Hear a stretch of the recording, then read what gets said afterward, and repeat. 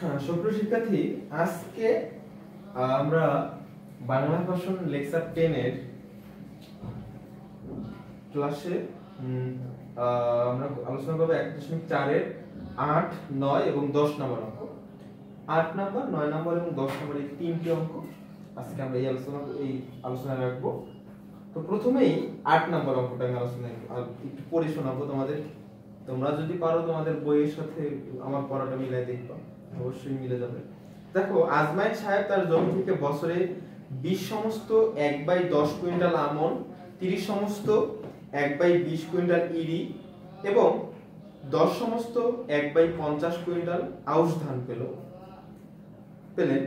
তিনি তার জমি থেকে এক বছরে কত কুইন্টাল ধান পেয়েছে? তার মানে এখানে আমাদের কাছে জানতে চেয়েছে যে তিনি মোট কতটুকু ধান পেয়েছে।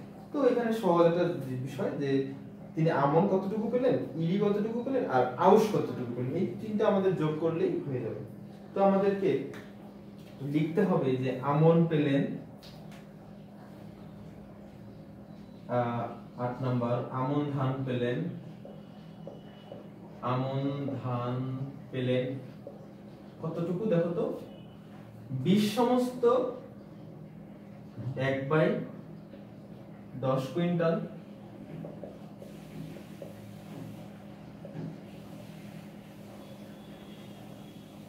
বা আমরা এখানে লিখতে পারি। এখানে কুইন্টাল কথাটা আমরা ছোট করে লিখলেও চলে?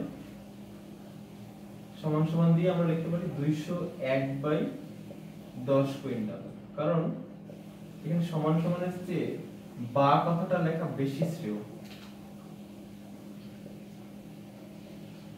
কুইন্টাল এরপরে আউশ পেলেন কতটুকু?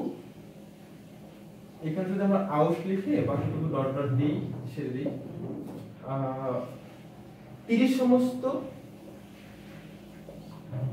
এক বাই বিশ কুইন্টাল বা তিরিশ আর বিশ কুইন্টাল কত? ছয়শো এক বাই বিশ কুইন্টাল। এরপরে হচ্ছে সরি ওটা কুইন্টাল এইটা ইডি হবে। আমি ইডির জায়গায় আউশ লিখছি। ঠিক করলাম। এরপরে দেখো, আউশ। আউশ ধান পেলেন কতটুকু? দশ সমস্ত, এক বাই পঞ্চাশ কুইন্টাল বা পাঁচশত এক বাই পঞ্চাশ কুইন্টাল। এখানে কিন্তু আমি মূলত যেটা করছি তোমাদেরকে বলিনি, এটা জাস্ট অপ্রকৃত থেকে মিশ্র সরি মিশ্র থেকে অপ্রকৃত করছি। তিন জায়গায় এই কাজটাই করছি। এখন লিখব যে মোট ধান পেলেন মোট ধান পেলেন কতটুকু ধান পেলেন? এই তিনটা যোগ করলে যা হবে তাই দুইশো এক বাই দশ যোগ ছয়শো এক বাই বিশ যোগ পাঁচশো এক বাই পঞ্চাশ কুইন্টাল। এই যোগটা করলেই ম্যাথ শেষ।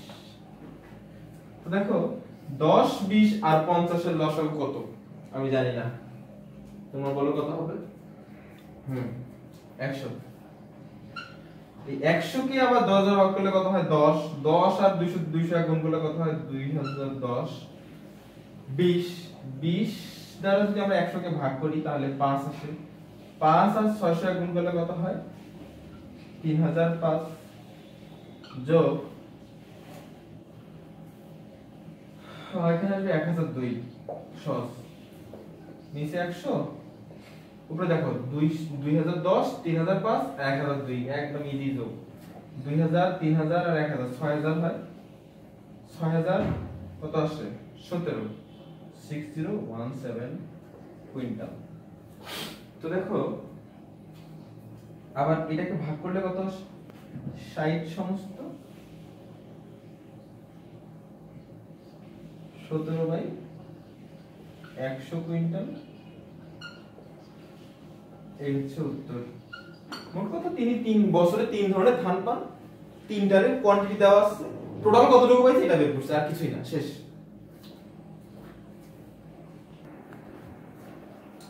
এরপরে দেখো, নয় নম্বর অঙ্ক। পঁচিশ মিটার লম্বা একটি বাঁশের পাঁচ সমস্ত চার বাই পঁচিশ মিটার কালো, সাত সমস্ত এক বাই চার মিটার লাল এবং চার সমস্ত তিন বাই দশ মিটার হলুদ রং করা হলো।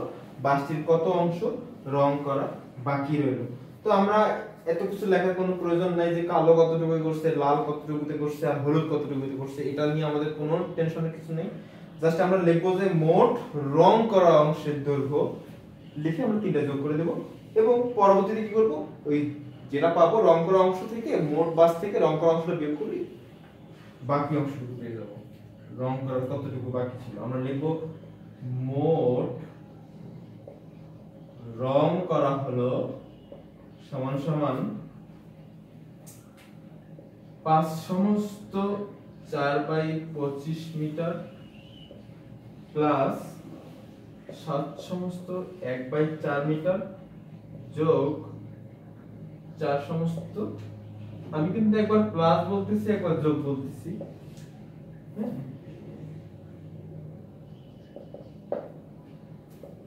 দেখো আমাদেরকে এখানে সমস্ত ভাঙাতে হবে।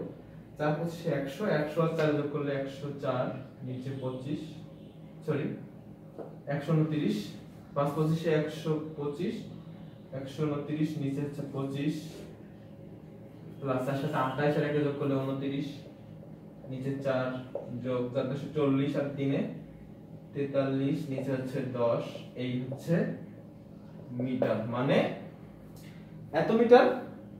রং করা হয়েছে। তো দেখো, পঁচিশ, চার আর দশ, এই চারটা সংখ্যার লসাগু হচ্ছে একশো। একশো লিখলাম, একশোকে আবার পঁচিশ দ্বারা ভাগ করলে কত হয়? চার হয়। চারকে আবার একশো উনত্রিশ দ্বারা গুণ করলে কত হয়? পাঁচশো ষোলো। যোগ আবার পঁচিশ সরি একশো কে চার দ্বারা ভাগ করলে পঁচিশ হয়, পঁচিশ আর উনত্রিশ গুণ করলে কত হয়? সাতশো পঁচিশ। এরপরে দেখো, দশ আর তেতাল্লিশ গুণ করলে কত হয়? চারশো তিরিশ। এই হলো মিটার। তো দেখো, নিচে লিখলাম একশো। পাঁচশো ষোলো উপরে, এর সঙ্গে যোগ আছে কত? সাতশো পঁচিশ। তার সঙ্গে কত? চারশো তিরিশ। কত আসে? ষোলোশো একাত্তর মিটার। ষোলোশো একাত্তরকে আবার একশো দ্বারা ভাগ করলে কত হয়? ষোলো সমস্ত একাত্তর বাই একশো মিটার। এই হচ্ছে রং করা অংশের দৈর্ঘ্য। আমার এই কথাটা না লিখলেই বেটার হয়। কোনো দরকার নেই। এখন উম,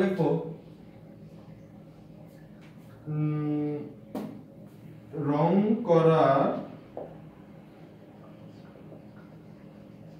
বাকি রইল। মানে কত অংশ রং করা বাকি রইল সেটা হচ্ছে এই পঁচিশ থেকে এইটা মাইনাস করলেই হয়ে যাবে। পঁচিশ বিয়োগ ষোলোশো একাত্তর সাল নিচে হচ্ছে একশো মিটার। একশো পঁচিশশো থেকে আমাদেরকে ষোলোশো একাত্তর মাইনাস করবে, এটা সহজ বিয়োগ, তোমরা পারবা, সমস্যা নাই। ষোলোশো একাত্তর মাইনাস পঁচিশ সরি পঁচিশশো মাইনাস ষোলোশো একাত্তর কত আসে? আটশো উনত্রিশ। মিটার এই জায়গা না থাকলে দিকে সমস্যা দিচ্ছি। আট সমস্ত, উনত্রিশ বাই সরি এখানে আট সমস্ত, উনত্রিশ বাই একশো।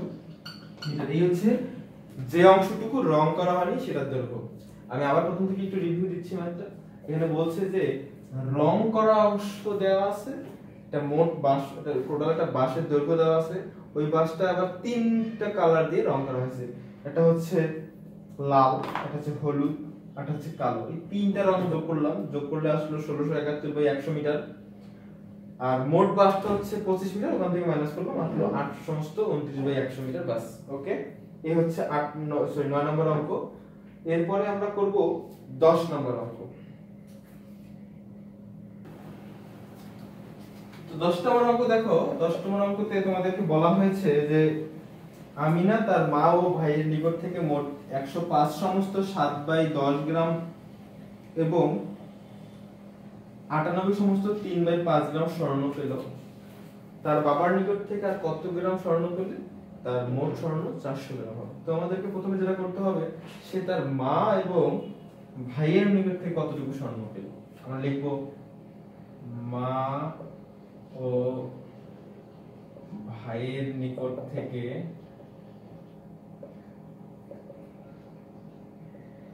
স্বর্ণ পেল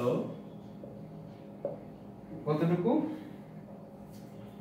একশো পাঁচ সমস্ত সাত বাই দশ যোগ আটানব্বই সমস্ত তিন বাই পাঁচ গ্রাম। গ্রাম পেলাম। এখন আমাদেরকে সমস্ত ভাঙাতে হবে। একশো পাঁচ আর দশ গুণ করলে এক হাজার পঞ্চাশ আর এক হাজার সাত যোগ করলে এক হাজার সাতান্ন, নিচে হচ্ছে দশ যোগ আটানব্বই আর পাঁচ গুণ করলে চারশো নব্বই চারশো নব্বই আর তিন যোগ করলে চারশো তিরানব্বই, নিচে হচ্ছে তিন, এই গ্রাম নালে হিয়ার? যাই হোক, এখানে তিন কেন লিখলাম বুঝলাম না। পাঁচ আর দশের লসও কত হয়? দশ হয়। তাহলে এক হাজার দশ। আমরা এই যোগগুলো একই ধরনের যোগ বহুবার করতেছি, তাই আমি সংক্ষেপে করে দিচ্ছি। দশ, দশকে এক দশ দশ করলে এক এক হাজার সাতান্ন যোগ চারশো তিরানব্বই আর দুই গুণ করলে কত হয়? তিন দুগুণ ছয় নয় দুগুণ আঠারো আট, হাতে এক, চার দুগুণ আট, আর একে নয়। ছিয়াশি। নশো ছিয়াশি এত গ্রাম। এখন এক হাজার সাতান্ন, এক হাজার সাতান্ন যোগ নয়শো ছিয়াশি। কত আসে? দুই হাজার তেতাল্লিশ নিচে হচ্ছে দশ গ্রাম। তো দেখো দুই হাজার তেতাল্লিশ আর নিচে হচ্ছে দশ গ্রাম। এখন এইটুকু স্বর্ণ সে মা এবং ভাইয়ের নিকট থেকে পেয়েছে। আর কতটুকু পেলে? তার চারশো গ্রাম হবে, সেটা আমাদেরকে বের করতে হবে। তো এই স্বর্ণ যতটুকু দরকার চারশো গ্রাম মেলাতে, সেটা তার বাবার কাছ থেকে নেবে। তো আমরা এখানে লিখতে হবে যে অতএব বাবার নিকট থেকে পেল, বাবার নিকট থেকে পেল। চারশো থেকে এটা মাইনাস করতে হবে তোমাকে দুই হাজার তেতাল্লিশ, নিচে হচ্ছে দশ।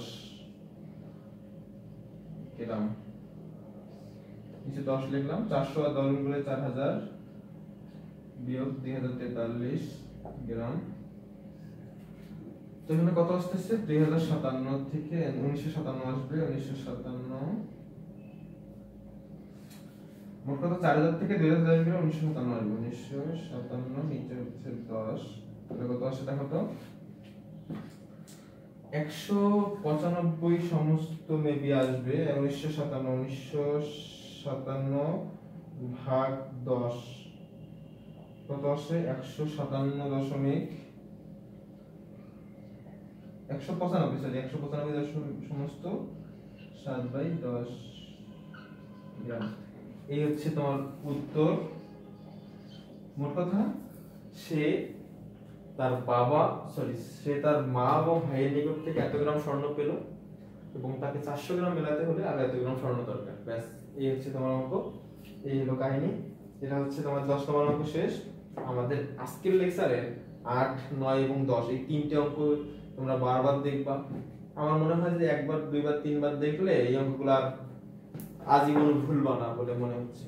এরপর যে সমস্যা হয়, তোমরা দুইবার, তিনবার, চারবার করবা। একটা আমার দুই যতবার প্র্যাকটিস করবা, ততই তোমাদের ভালো হবে। শুধুমাত্র ম্যাথের লেকচার দেখে ম্যাথ মানে ওই ওইরকম ভাবে বোঝা সম্ভব না। তোমাদের নিজেদেরকেও চেষ্টা করতে হবে যে কি বলছে ম্যাথ। করার আগে তোমাদের প্রশ্নটা ভালোভাবে বুঝতে হবে। প্রশ্ন ভালোভাবে বুঝতে পারলে ওই প্রশ্নে কি বলছে তোমাদেরকে যে কেউ যদি কোনো কিছু একটা কোশ্চেন বলে, তোমাদেরকে বুঝতে হবে সেই কোশ্চেনটা কি। ঠিক সিমিলারলি বইতে যেগুলো বলা আছে, সেগুলো তোমাদেরকে একটা কোশ্চেন বলছে, এগুলো তোমাদের উত্তর করতে হবে। এর জন্য তোমাদেরকে মানসিক শক্তি বাড়াতে হবে। মানসিক শক্তি বাড়ালে প্রশ্ন উত্তর করার সামর্থ্য বেড়ে যায়। যাই হোক এই হচ্ছে তোমাদের আজকের লেকচার পরবর্তী লেকচারে তোমাদের এগারো নম্বর অঙ্কটাই শুধুমাত্র এগারো নম্বর অঙ্কটা করানোর জন্য একটা আলাদা লেকচার করা হবে। কারণ সৃজনশীল অঙ্ক ওখানে ক, খ, গ তিনটা আলাদা আলাদা অঙ্ক রয়েছে। যার কারণে ওটা- ওটার জন্য আলাদা লেকচার আর এই লেকচারেই তোমাদের তিনটা অঙ্ক হয়ে গেছে। তো দেখো, এবার আমরা আজকের মতো বিদায় নিচ্ছি। আজকের মতো না, এই লেকচারের মতো। তো ঠিক আছে বাই